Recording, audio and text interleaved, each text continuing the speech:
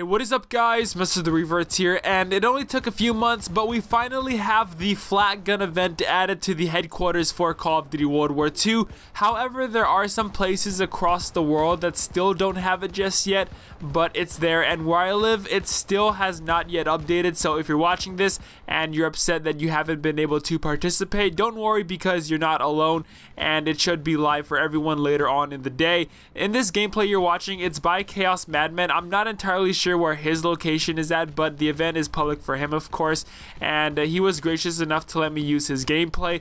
And the event is pretty cool actually, but there are some complaints that I have, and I just want to address these really quick and maybe give some advice to Sledgehammer on things that could possibly be done in order to make the event even better. But really quick here, just a rundown of what happens. So inside the headquarters, every 30 minutes, there's going to be a message that will pop up on your screen that says, incoming enemy aircraft, get to the AA guns or capture landed care packages. You're going to have a minute and 30 seconds to secure the care packages, and there's going to be a number that tells you how many are remaining. And to secure them, all you got to do is just hold down the square or X button and be near them.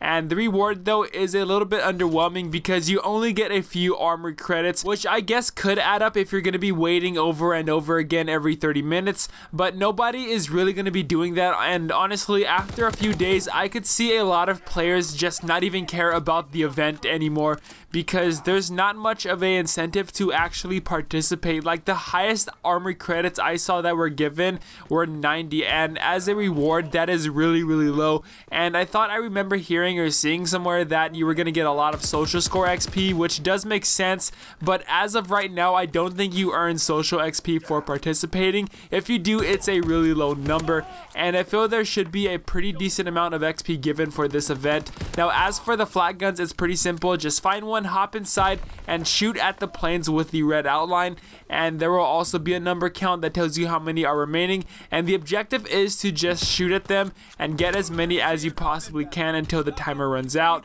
but again, remember right now you may not have the Flak gun event added into the uh, region that you're playing in right now, but it should come definitely later on in the day. Now the biggest complaint that I'm seeing right now, which you heard me agree upon, was the low rewards. There needs to be something better to give to all players, whether it's a supply drop or more armory credits, whatever it may be, there needs to be something bigger with a bigger impact than just simply 90 or 30 armory credits. Also, maybe later on, there could also be other dynamic events added to the HQ that maybe could hold bigger rewards, but possibly take a while longer to activate. Like I've said multiple times in my videos, that I think a horde of zombies that just storm the beach and attack players would be really, really sick. And everyone in your HQ has to defend each other from the zombie attack. Like, there's so much Sledgehammer can do, and I really do hope they take advantage of the open-ended design of the headquarters. So guys, tell me your thoughts about the Flak gun event down in the comment section below, such as your complaints,